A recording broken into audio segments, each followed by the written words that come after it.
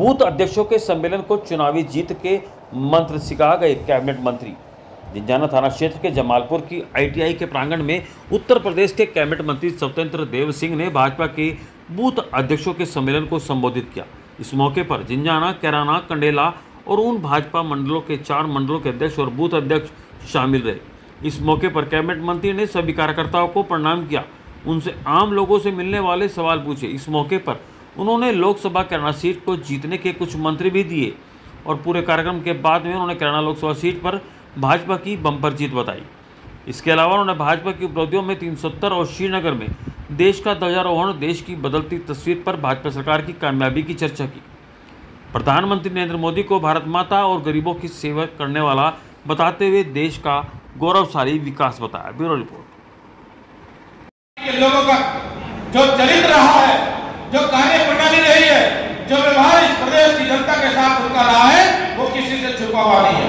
सरकार का काम यही होता है सड़क बिजली, पानी, इन विषयों को लेकर के हम लोग भारतीय जनता पार्टी की सरकार ने कहीं न कहीं इंच भर भी कमी छोड़ने का काम किया है तो बताओ कहीं कमी नहीं मिलेगी।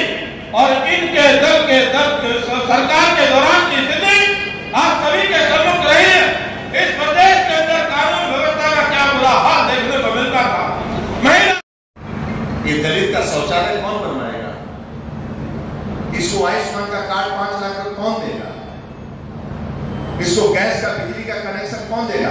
बिजली कोरोना कोरोना वैश्विक महामारी में इसका जान कौन बचाएगा? ऑक्सीजन विदेश से कौन मंगाएगा जनाब जहाज़ भी ट्रेन भी, सेना भी, सब चारों तीनों सेनाएँ भी, पुलिस भी, प्रशासन भी, सब लगे हैं। जनादन लाने के लिए अपना जान की परवाह करने के लिए, जान की परवाह नहीं कर रहे और पूरी सरकार को दिया कि गरीब का जान बचाना चाहिए। जैसे बचाना हो, बचाओ। ये कौन करेगा मित्रों? आप जो काम करते हैं, किसी के ऊपर एहसान नहीं करते मित्रों, इस मातृभूमि की रक्षा के लिए काम कर रहे हैं। भारत माता जय और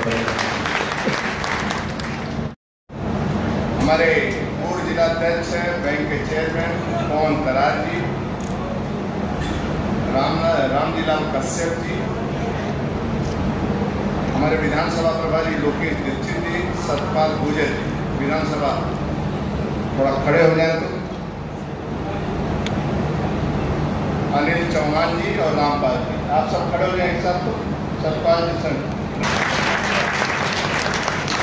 एक बार आप सब के नेतृत्व में चुनाव लड़ा जा रहा है उससे सभी लड़ रहे हैं। एक बार बूथ अध्यक्षों को ये समझिए कि किसी मंदिर का स्थापित है भगवान के रूप में।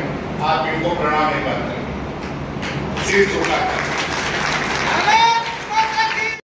आज यहाँ शानदार बूथ अध्यक्षों का सम्मेलन था।